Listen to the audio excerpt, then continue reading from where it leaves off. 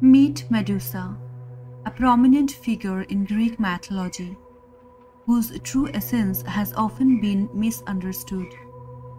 When we hear the name Medusa, we imagine a dreadful and wicked monster.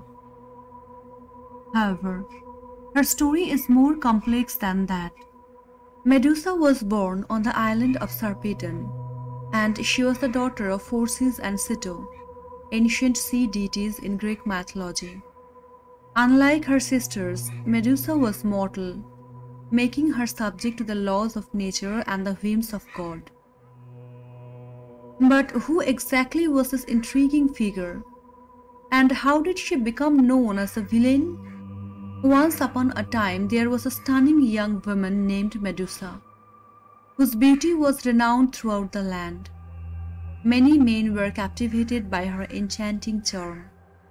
But she chose a different path. Medusa decided to dedicate herself to the goddess Athena, becoming one of her priestesses and embracing a life of celibacy, shunning any romantic pursuits. Life at the temple brought a sense of tranquility for Medusa, though her beauty stirred a tinge of envy even in the heart of goddess Athena. However, things took an unexpected turn when the mighty god Poseidon set his eyes upon Medusa, and the course of her life was forever altered. In the realm of mythology, the tale of Medusa and Poseidon unfolds with various interpretations. Some say that Poseidon was irresistibly drawn to the exceptional beauty of Medusa, while others speculate that he saw her as a means to challenge his rival Athena. Perhaps it was a mix of both. According to different versions of the story, some claim that Medusa fell in love with Poseidon and chose to abandon her devotion to Athena. In contrast, the more widespread account maintains that Medusa remained steadfastly loyal to the goddess but was tragically taken by Poseidon without her consent. In either scenario, the distressing climax involves Poseidon's ravaging of Medusa inside the sacred temple of Athena. Overwhelmed by the traumatic events, Medusa turns to Athena seeking solace and support. The details may vary, but the essence of Medusa's anguish and her plea for Athena's aid remains a constant thread in this compelling myth.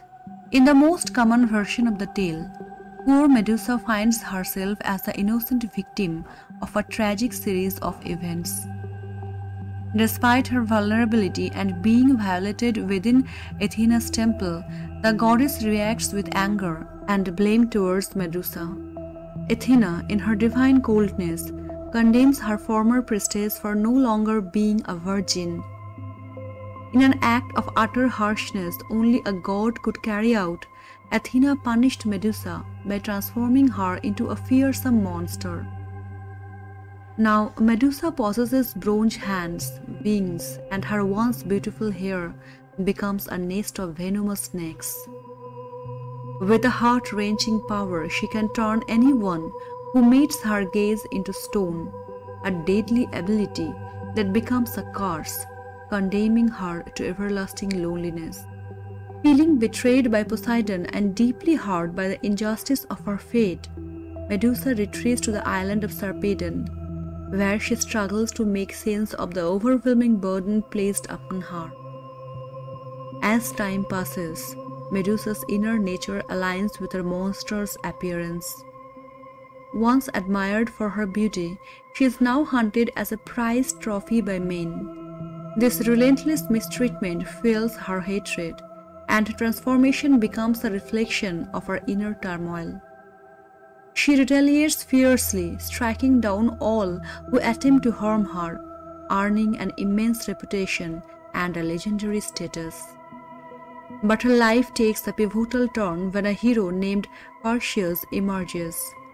He stands apart from the others, bearing divine assistance due to his lineage.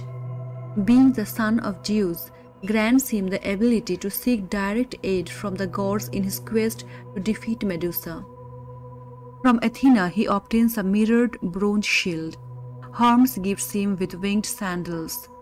Hephaestus presents him with a mighty sword, and finally Hades grants him a helm of invisibility.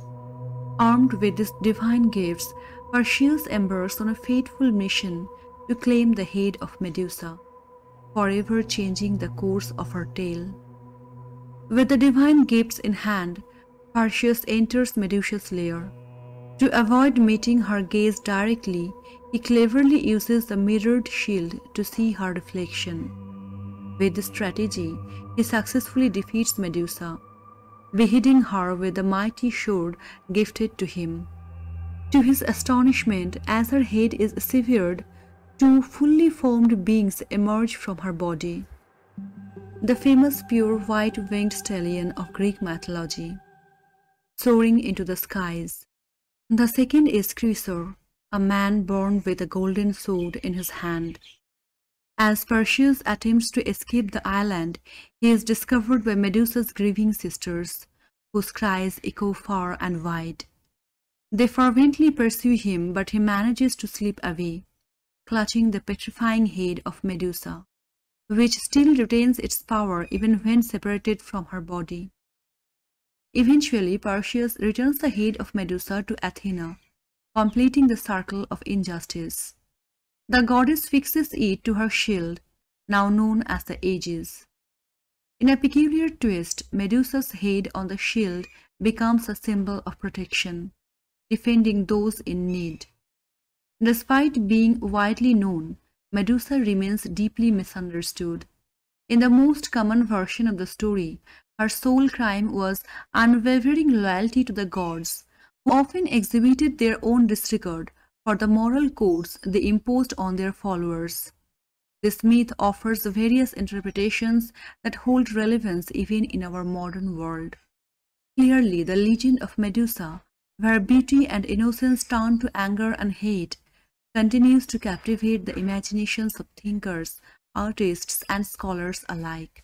Its timeless appeal will endure for years to come. So friends, that's all for today. Thanks for watching our video. If you enjoyed this video, don't forget to hit that like button and also subscribe our channel Palette of the Past. Thank you.